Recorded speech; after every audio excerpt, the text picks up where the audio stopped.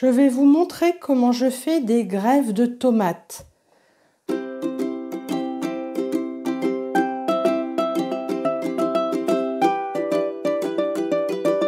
Donc pour faire une greffe de tomates, le but c'est de les rendre plus résistantes aux maladies, euh, plus costauds. Donc pour cela, on prend un porte-greffe euh, qui est très vigoureux, j'ai choisi euh, le porte-greffe qui euh, est le mieux à mon idée. Les, ce sont les tomates petits moineaux. Ce sont des tomates de la grosseur de, de groseille.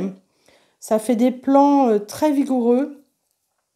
Donc là, j'en ai un qui a été semé le 28 janvier. Donc là, il est déjà bien joli. Je vais couper sous les cotylédons pour pas que ça reparte avec la tomate petit moineau.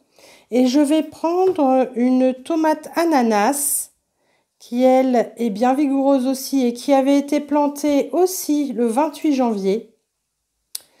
Donc on voit la différence, le petit moineau, euh, déjà que la, la, tomate ananas est vigoureuse, mais petit moineau est encore plus. Donc celle-ci, pour être greffée, je vais la couper au-dessus des cotylédons pour que ça soit vraiment ce plan-là qui parte.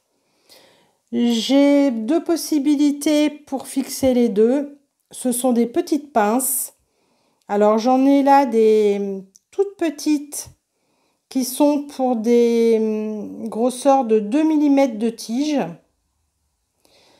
Et là, j'en ai une plus grosse qui va jusqu'à 4 mm 5. Normalement, ça fait de 2 mm à 4 mm 5.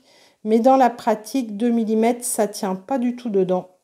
Donc là, ce que je vais faire, c'est que je vais déjà essayer pour voir laquelle va mieux correspondre. Donc comme je vais couper en dessous, la pince, elle sera là. Alors, est-ce qu'elle tient bien? Ça a l'air. Je vais regarder quand même la plus petite au cas où ça rentrerait, mais c'est, oui, c'est pas mal non plus. Donc pour celle que j'ai déjà faite là, j'ai choisi une toute petite pince. J'avais mis la grosse au début, mais en fait ça ne tenait pas. Et là, on voit qu'il y a bien la jonction entre les deux. On a l'impression qu'il n'y a qu'une seule tige. Faut vraiment que ça soit bien collé pour euh, réussir. Donc, euh, j'ai pas mis la grosse pince, mais la petite et on peut éventuellement, si ça ne tient pas bien, doubler avec une autre pince. Mais bon, là, pour le moment, ça tient pas mal. J'ai mis un petit bâton pour soutenir parce que dans les premiers jours, ça va tomber comme une fleur fanée. Et euh, du coup, il faut qu'il y ait le petit bâton pour pouvoir la soutenir le temps que la sève puisse remonter dans la greffe, du porte-greffe vers la greffe. Donc maintenant, je vais vous montrer, je vais passer à l'action sur cette greffe de tomate ananas. L'autre, c'était une cornue des Andes sur une petit moineau aussi. Alors, je prends ma petit moineau et là, je prends un cutter et je sectionne bien horizontalement juste en dessous des cotylédons. Cette petite coupe, je vais pouvoir la replanter en enlevant les premières feuilles. Et sur la tige, tous les petits poils, en fait, ce sont des futures racines qui, au contact de la terre, vont se développer. Donc ça me fera quand même une tomate petit moineau. Elle n'est pas perdue. Donc là, j'ai ma petite tige. Je vais couper maintenant la tomate ananas. Alors, je regarde à peu près la grosseur de la tige. Il faut que ça soit à peu près de la même taille. Donc je vais la couper ici. Voilà ma greffe. Je vais positionner la pince avant de, mettre la greffe.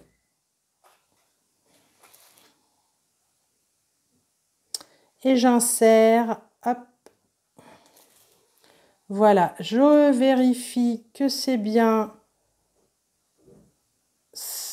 bien en contact. Donc là, on voit, on a l'impression que ça ne fait qu'une tige. Et je vais lui mettre un petit bâton aussi car elle ne va pas manquer de faiblir. Donc voilà, là j'ai ma petit moineau et je vais du coup mettre la petite étiquette avec la, le nom de la tomate ananas.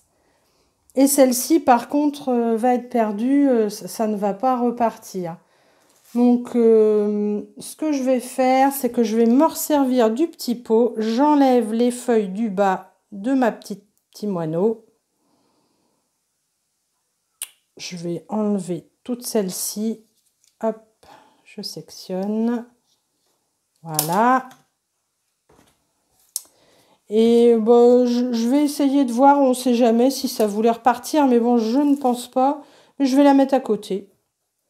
Puis euh, si je vois que ça gêne, je les séparerai plus tard. Donc je fais un petit trou à côté et hop, ma petit moineau est replanté. Bon, ça me permettra de me rappeler que c'est une tomate greffée en ayant laissé l'autre à côté. Je mets le tout dans une mini-serre. Et je vais les conserver avec le dôme en les aspergeant pour qu'il y ait une humidité euh, constante au moins une dizaine de jours euh, pour lui permettre euh, bah, de prendre à, ces petites greffes. je vais peut-être en faire d'autres. Je vais voir si j'en ai d'autres qui ont les bonnes tailles pour être faites. Alors, dans tous mes plans, j'ai encore trouvé deux tomates qui euh, vont avoir à peu près la même taille vont pouvoir être greffées.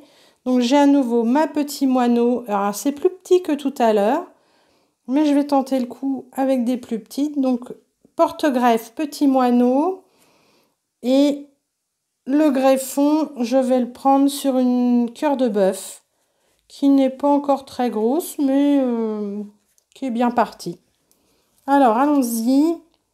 On coupe à nouveau sous les cotylédons la petit moineau.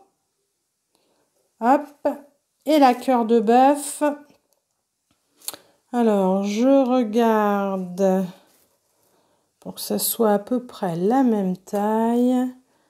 Je vais couper juste au-dessus des cotylédons. Les cotylédons, ce sont les premières feuilles qui sortent.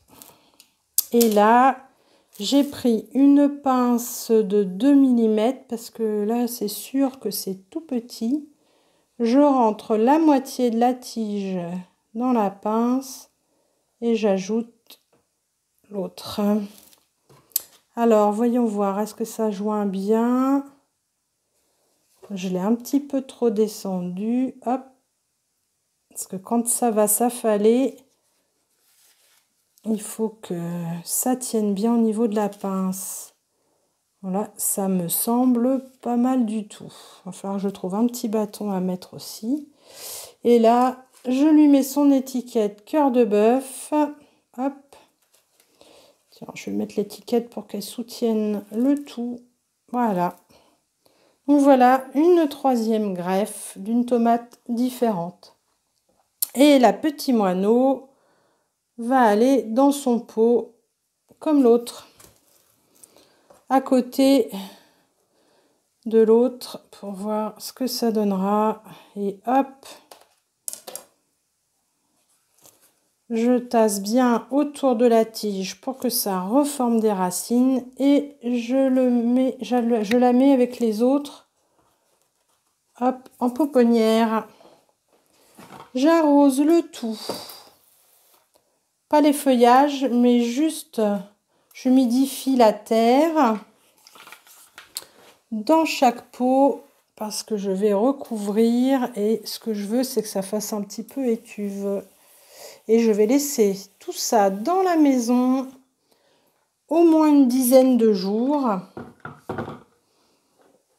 pour voir ce que ça donne parce qu'il faut que ça ait bien chaud. Ah, par contre, là, j'ai mis un tuteur trop haut. Il que j'en trouve un plus petit.